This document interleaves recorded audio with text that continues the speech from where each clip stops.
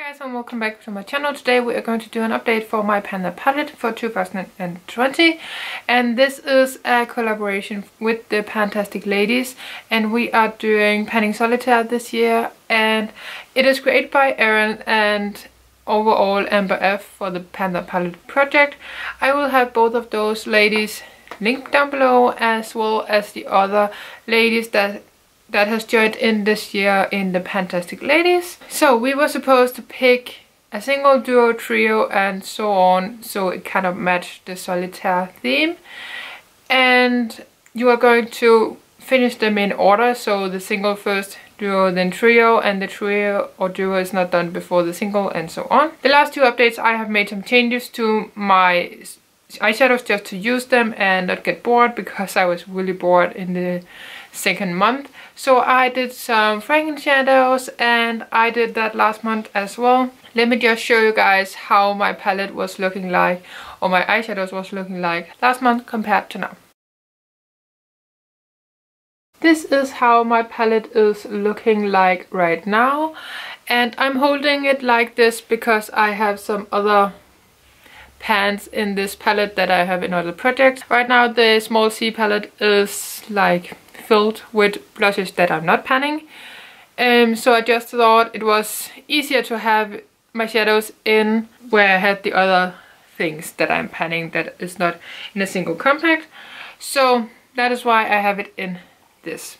And then we can talk about it and I will insert pictures instead because this is kind of annoying. As you can see I have some progress. I have hit three pans and then I have expanded at least one or two of them. My single is this Benefit cream white kind of shadow that I am using on my brow bone only. I have considered replacing this together with something else for my my concealer to set it, you know, because I have tried it on my eyelid to set my primer. I did not like that at all. My eyeshadow disappeared. So this is going really slowly, but I will for sure have it done this year and I'm excited about that.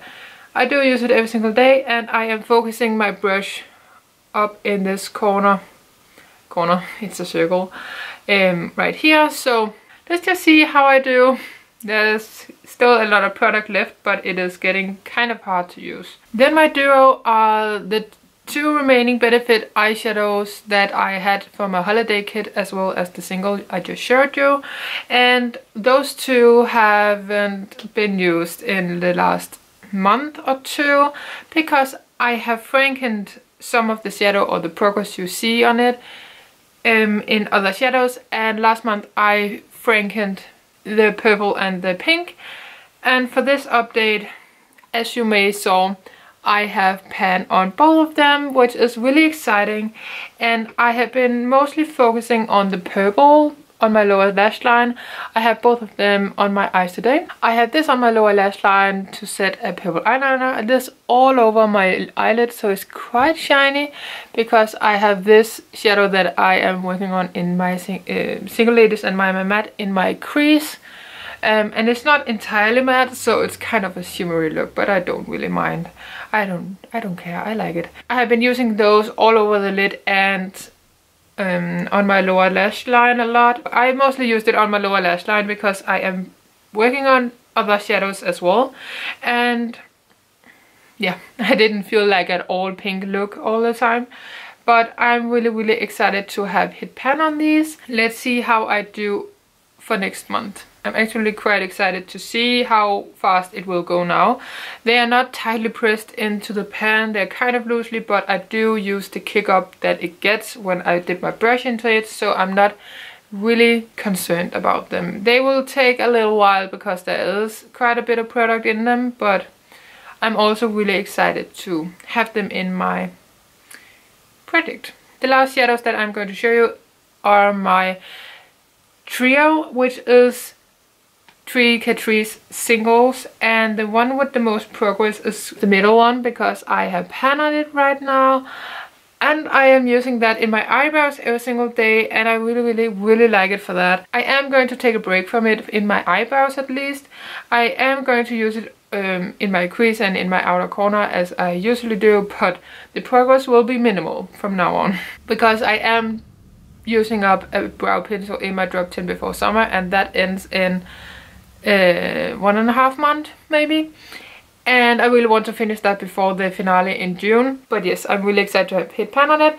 And the other one is this one. You might you can maybe see some progress this last time it is beginning to crumble a little bit. Let me see if I can show you. You can kind of see that it is lifting from the pan and that crumbles every time I use it. So that also makes it go a little faster I try to use it in my eyebrows but I don't really like it for that because it is a little bit too light. But yes I use it in my crease every single day. This dark one I use it sometimes in my outer corner. I do think I want to try to use it in my eyebrows and see if I, can hit pan on it that way. But as I just said I really want to finish that brow pencil, so that is going to be my focus from um, the next month at least. So let's see if I can finish that brow pencil. That it will be a challenge, it will, but yeah, I'm just I'm really happy if I just hit pan on the last shadow in my trio. Um, for now, at least. I'm not going to call it done because it's obviously not done. But I do not know if I can have it done by the end of the year. I am really really happy to be working on these shadows because they are older in my collection and they are the oldest eyeshadows in my single shadow collection my stash you know. Um so i'm really happy to be working on them and by the end of the year they will be decluttered because they are just a little bit too old. They are from christmas 2015 or and in the beginning of 2016 so they are quite old but they're really really nice and I really like them and I'm excited to get some use out of them. That is everything for this update. Not that much else to talk about. Um, when these two Franken shadows are done I am going to do some other colors because then I think I might have enough for purple and pink. So let me know if you have some ideas for some colors I can Franken with this Toby shade and this rose gold champagne shade. Um, I got a suggestion for uh, something with my green shadows that I'm planning from my Blush Tribe Paulina palette. So like a lime green or shimmery dark green or something like that. Yeah, I think that would be exciting, but it will not be right now. at least. I hope you guys enjoyed this video and if you did, please give it a like and subscribe down below if you're new here. Felix is here if you saw his tail yeah, I really hope you enjoyed and check out the other ladies before you go and I will talk to you guys next time. Bye!